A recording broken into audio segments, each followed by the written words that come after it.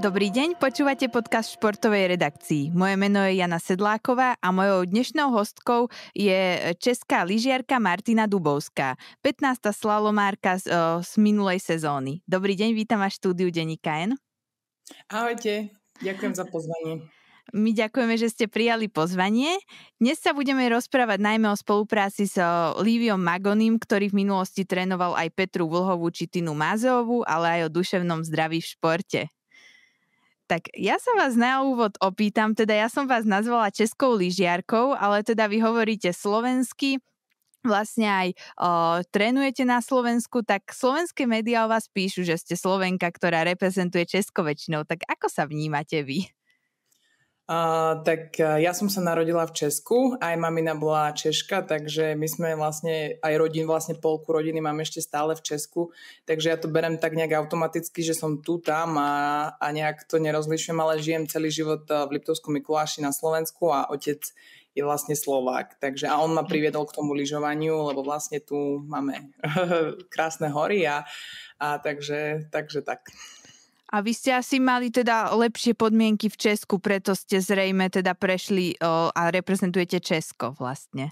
Mm, tak prvý rok v juniorskej kategórii aj vlastne celé detstvo som lyžovala za Slovensko, ale, ale potom čím je to náročnejšie aj finančne, takže a otec bol tréner a mama učiteľka, takže tých peňazí nebolo nikdy nejak veľa a otec prišiel s tým, že tým, že som vlastne, že som mala občianstvo české, tak eh, že pôjdem do Česka v 16 a tak povedal, tak bolo a odtedy som tam a ja som vďačná, že ma zobrali a že vlastne môžem robiť to, čo ma baví a, a že vlastne tým môžem žiť a vlastne teraz je to aj moja práca a, a som za to veľmi vďačná, že ma takto prijali. Dobre, tak eh, prejdime teda k tomu k tomu Liviovi Magonimu a vašej novej spolupráci, tak ja som si pri, pri príprave na tento rozhovor pozerala nejaké vaše staršie vyjadrenia a vy ste tam o Veronike Vele Zuzulovej povedali, že je aj dobré, keď má voči vám takú niekedy trochu tvrdšiu ruku ako trénerka alebo mentorka, alebo keď ste spolu spolupracovali. Tak a keď ste ohlásili spoluprácu s Liviom Magonim, tak ja sa priznám, že ja som si na toto vyjadrenie hneď aj spomenula, že ste ho niekde hovorili, lebo on je známy ako veľmi tvrdý tréner, tak možno možno je aj toto dôvod, že vám nejako sadol ten jeho trénerský štýl? a, tak tie reakcie, reakcie boli rôzne, keď som oznámila túto spoluprácu, ale ja som ju riešila už trošku dopredu a riešila som to vlastne s mojim úzkým kruhom ľudí a hlavný, hlavné slovo mal ako môj otec a vlastne on to celé aj zorganizoval, vybavil, lebo oni sú s Liviom kamaráti. A takže ja som dala na jeho, na jeho rady najviac a myslím si, že to bola veľmi dobrá voľba. Uvidíme v zime, ale, ale myslím, že som to potrebovala. Uh, Livio patrí medzi jedných z najlepších trénerov na svete. Viem, že sa popísalo a, a čo sa popísalo v tých novinách, ale, ale sústredím, ja som Martina a dúfam, teda uh, pracujeme tak, aby to mne vyhovovalo. Uh, a myslím si, že Livio vie veľmi dobre, čo robí a, a dúfam, že dokážeme v tej zime, že, že, že tam dokážeme ísť na tú špicu a, a urobíme, čo môžeme. Áno, vy ste to hovorili aj v rozhovore pre Športnet, že vašim takým veľ, veľkým snom by bolo, ak by výsledkom tejto spolupráce bolo, že by ste sa dostali o, niekedy na pódium vo Svetovom pohári. Vy ste už viackrát boli v prvej desiatke, vlastne aj sezónu ste ukončili o, veľmi dobrým výsledkom na finále Svetového pohára. Viete možno už aj po konzultáciách s Liviom Magonim, čo vám chýba na, na to pódiové umiestnenie?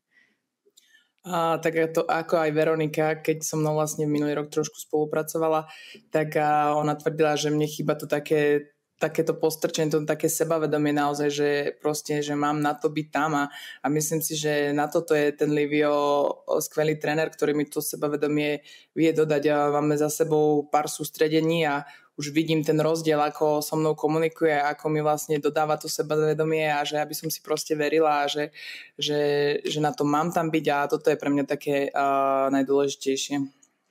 Keď hovoríte teda, že už po tých pár sústredeniach s tým vidíte nejaký rozdiel, tak v čom je to možno taký najväčší rozdiel Livio Magoni oproti iným trénerom, možno ktorých ste mali predtým? Hmm, pracuje asi na 150%. všetko, všetko, všetko kontroluje, všetko naozaj sa snaží nejaké všetko nejaké nové, nové veci, či techniku, cvičenia. Neviem to úplne takto opísať, ale je to úplne pre mňa uh, také wow, že, že čo všetko vlastne on dokáže aj som ako pracovať nejaké konzultácie taký, s takým trénerom, takým proste uh, ohľadom aj uh, kondičky a proste aj so Šimonom ako spolupracuje a je to naozaj pre mňa, pre mňa veľká, veľký zážitok. Takisto aj vlastne, čo mám v týme fyzioterapeutku a servismena, čo sme minulý rok boli spolu, tak úplne pozeráme na to, že wow, že to je úplne iná liga, ako to bola minulý rok. Áno, a vlastne vy ste to hovorili v rozhovore pre Špornet, že vašou ako keby jednou takou vecou, na ktorej treba pracovať, že máte dobrý, rýchly štart, ale že už potom strácate. To niekedy vidím možno divák aj pri iných lyžiarkách, že napríklad do m, začiatok trate drží krok so Šifrinovou a naraz príde do cieľa vlastne s 1,5 sekundovou stratou. Tak o čom to je? Toto je o psychike alebo o kondícii?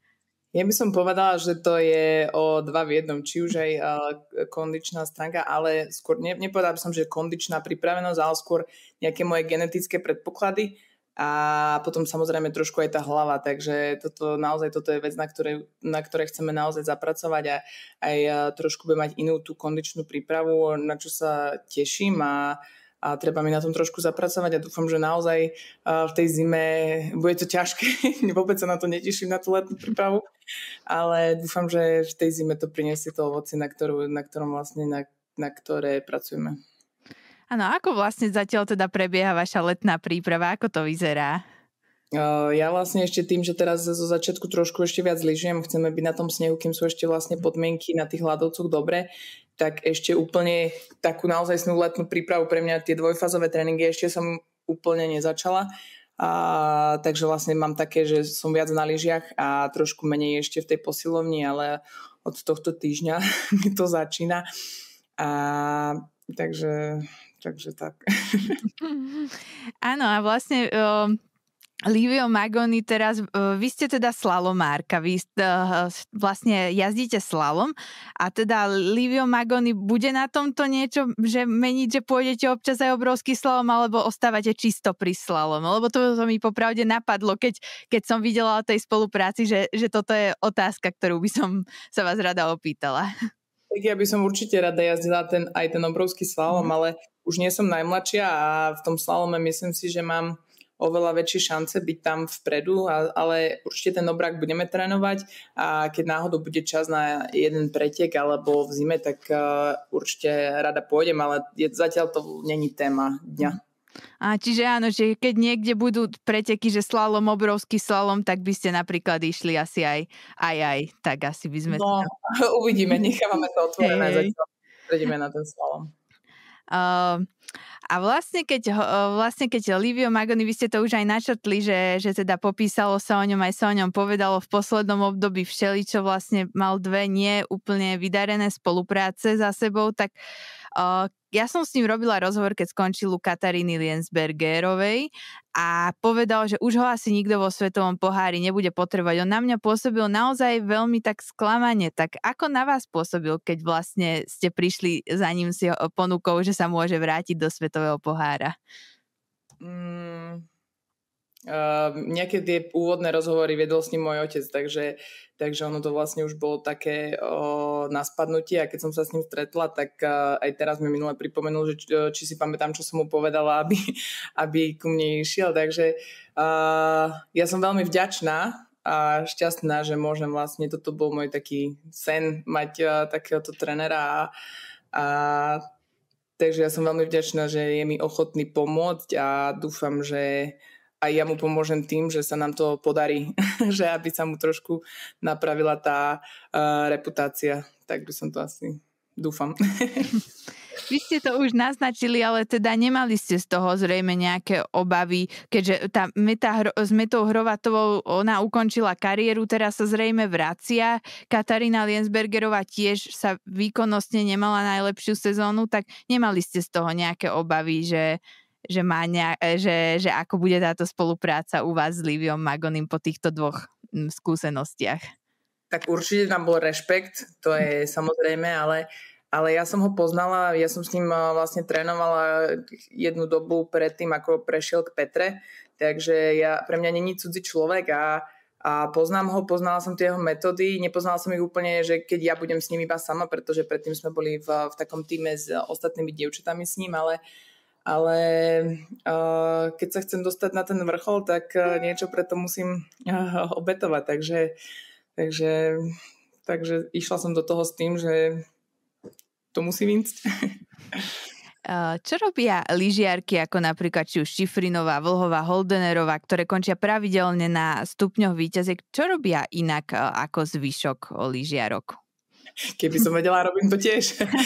ale nie, oni podľa mňa e, neskutočne makajú. Určite tam je aj ten talent, ale oni neskutočne makajú, majú všetko úplne do detajlov e, premyslené, aj ten tým, čo je za nimi. A akože sú úplne, je to trošku iný level, tie devčatá ako my trošku vzadu, ale my robíme tiež všetko preto, aby sme sa im trošku približili, ale, ale nemôžu byť všetci prví, takže robíme, čo môžeme. A do, do akej miery sa dá povedať, že oni sú ako keby lepšie lyžiarky a do akej miery je to možno o nejakom mentálnom nastavení u nich?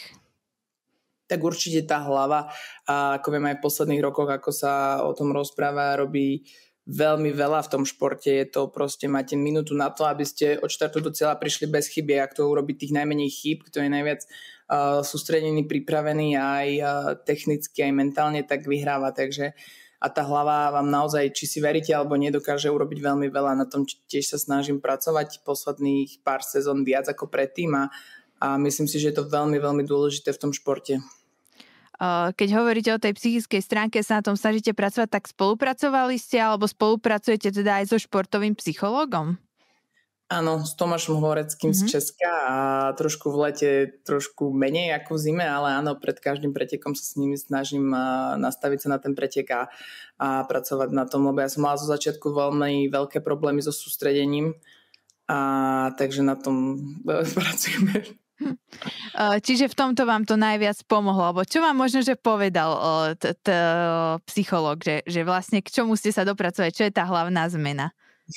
Jo, to bolo veľmi veľa, však už mhm. spolupracujeme nejaký ten rok, ale, ale pre mňa, ako som už spomínala, pre mňa asi najdôležitejšie je tá seba dôvera a to sústredenie sa na ten, na ten okamih, na ten pretek, na ten pohyb a toto je asi pre mňa najdôležitejšie a proste už keď stojím na tom štarte, nastaviť si to dopredu, ale keď sa otvorí tá bránka, už nemôžete nad, nad ničím rozmýšľať a, a proste idete.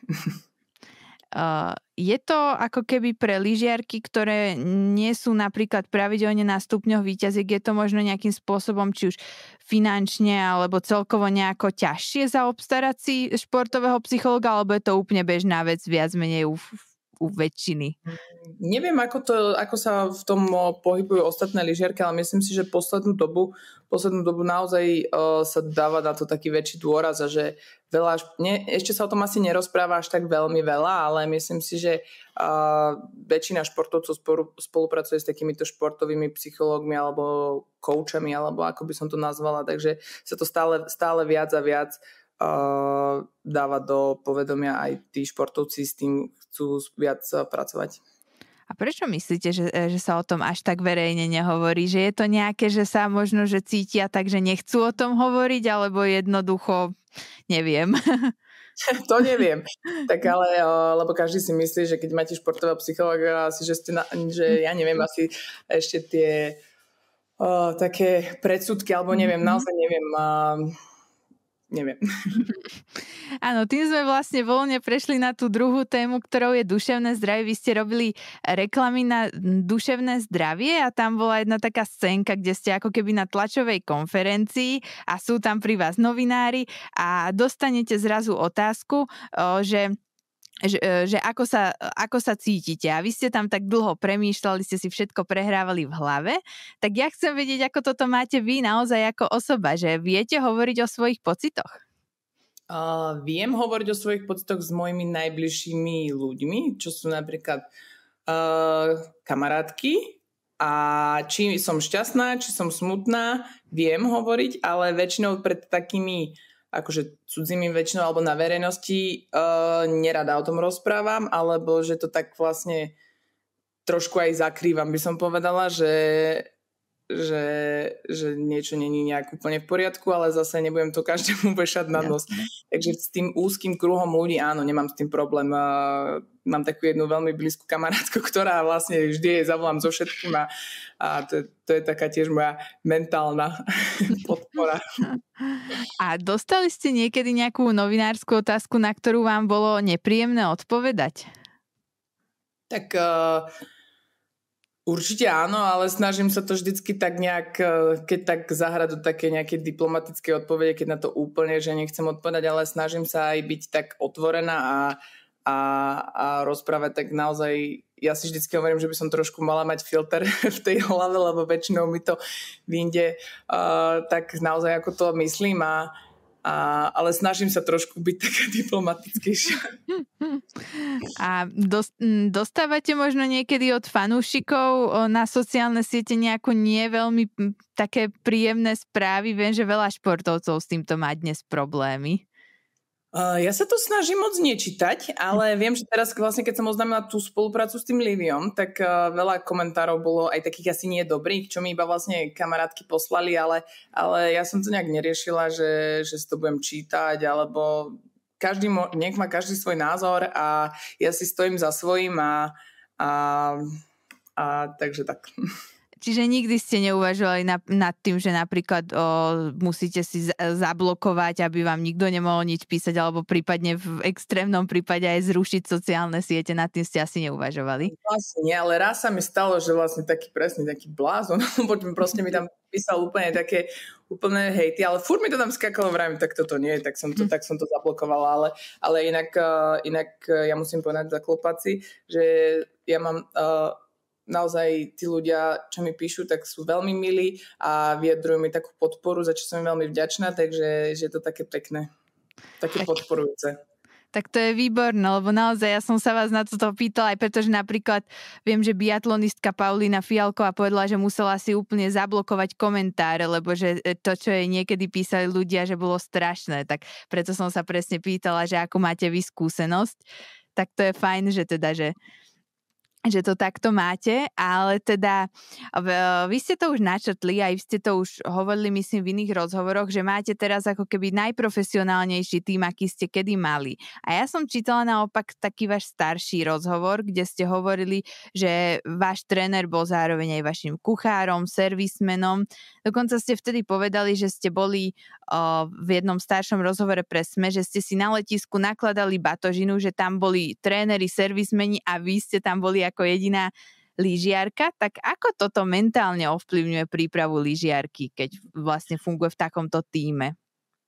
Áno, tak to bolo vlastne, ale to bolo predtým aj celý život vlastne, že som bola sama s otcom a takto sme si museli všetko sami, ale toto, čo spomínate, tak áno, to bolo asi pred tromi rokmi s Andrejom Prevozňákom, to vlastne, alebo pred štyrmi to bolo, a s trénerom mojim bývalým a vlastne každý, sme si museli všetko robiť sami, ale ale zase podľa mňa to bola taká skúsenosť, že teda oveľa viac si to teraz vážim, že čo všetko teraz mám, ale určite bez pomoci uh, aj osobných sponzorov, aj uh, by sa mi to nepodarilo a a som veľmi vďačná, že sa mi to podarilo a spomíname na to, keď uh, sa o tom rozprávame, ako sme chodili, čo sme robili s takým úsmevom, že sme to brali tak uh, ako taký, taký vtip, ale, ale chceli sme to robiť a, a sme si šli za nejakým cieľom, že dokázať uh, sa tam dostať. Uh, takže áno, je to také zaujímavé a, a je to teraz úplne taký, ako keby naozaj taký sen, ktorý žijem teraz, že je to naozaj také profesionálne.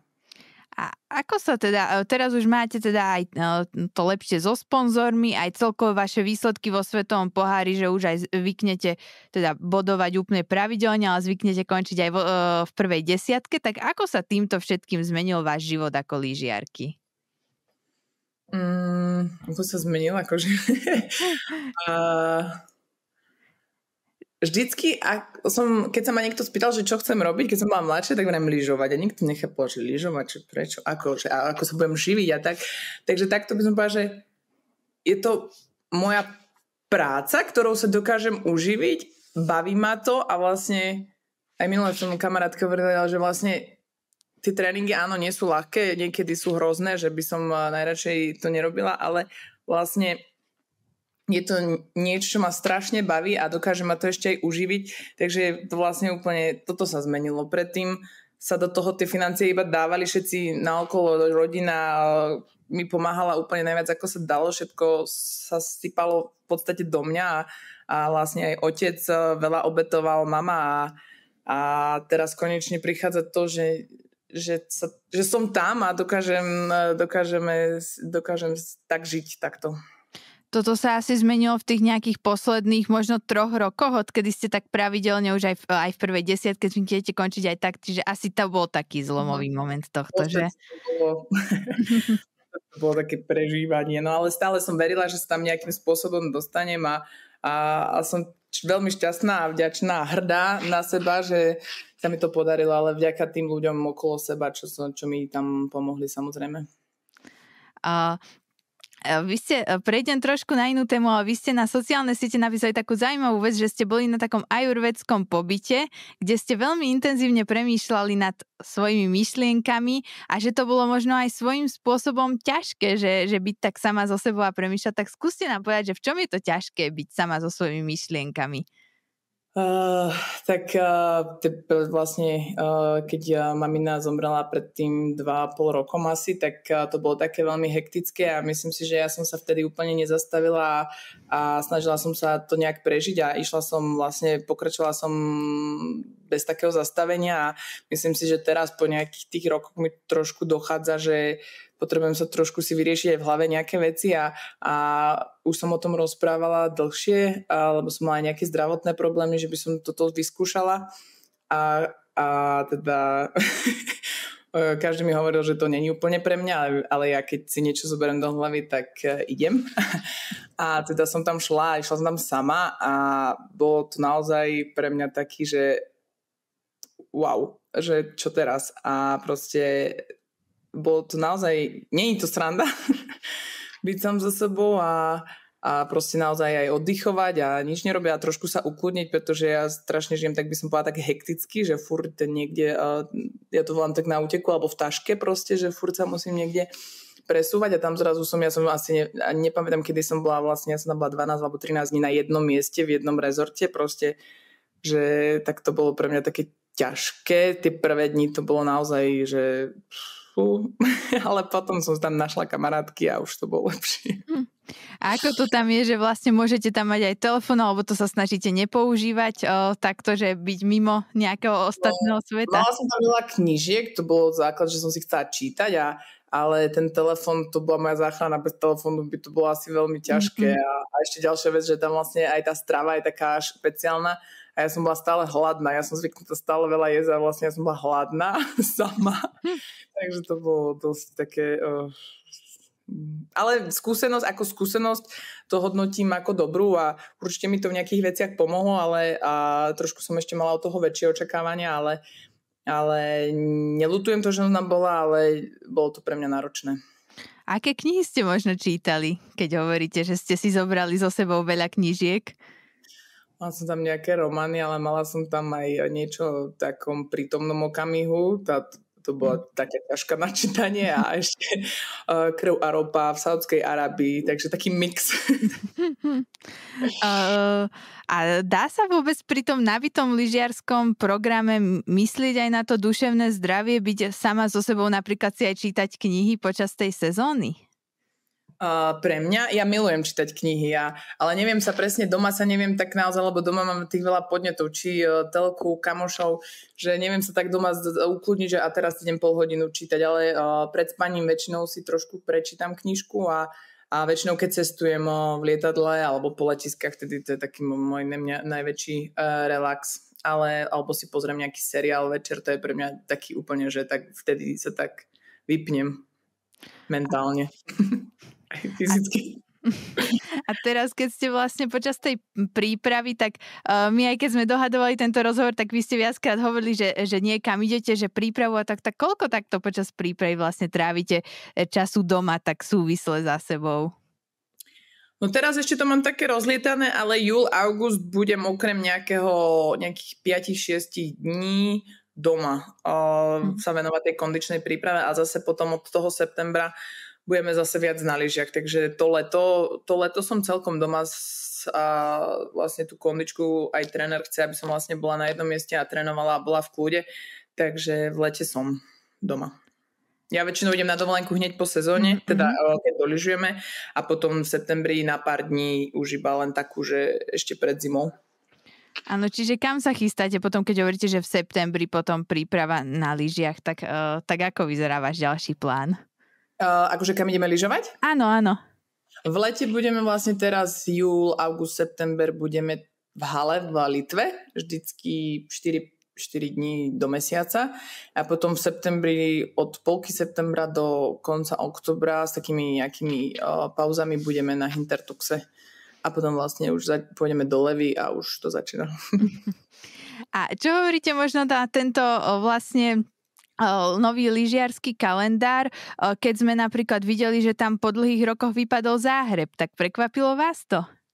Trošku ma to prekvapilo, lebo vlastne Zagreb tam bolo x rokov a je to naozaj taký veľmi pekný uh, pretek, ale vieme, ako to bolo posledné roky mm. s mhm. tým snehom, tam bolo to naozaj tento rok, to som ešte nevidela, čo tam bolo. Uh, to bolo naozaj hrozné, ale tento rok vlastne v, o tom období problém so snehom bol vo väčšine Európy, no tak je to trošku také smutné, ale ale nedá sa s tým asi nič robiť, ale dôležité je, že tam je jasná. áno, áno, budú tam preteky na Slovensku, takže aj slovenskí diváci sa na vás môžu tešiť, že sa prídu pozrieť.